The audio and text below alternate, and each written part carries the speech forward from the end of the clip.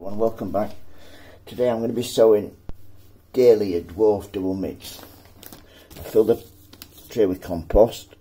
I put off, I've got half, half Aquilegias. I'm going to do it off Dahlias. I'll show the seeds. There we go. Quite straw like these seeds, as you can see. You want to sprinkle on top. Try and make sure they're really well spread out. Once they're on.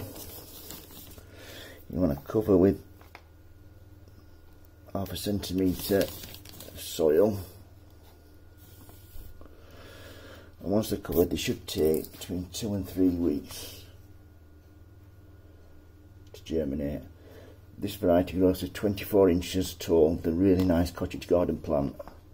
I like them in pots in your borders at the front. Really well you can dig up the tubers in the autumn before the frost. And cut these stems back leave them to dry in a cool dark place and they'll be fine over winter.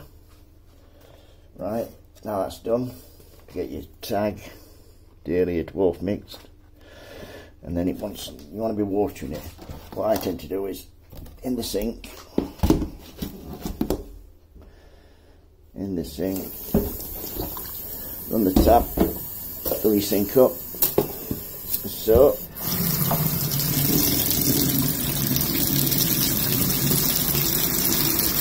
there there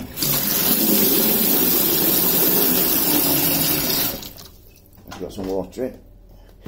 Get your tray in. Leave it for 10-15 minutes till it's watered all the way through. And then when it's damp like I've done one here. Place on your windowsill till your plants germinate Thank you very much. If you've got any questions, please don't hesitate to ask. Thank you. Bye.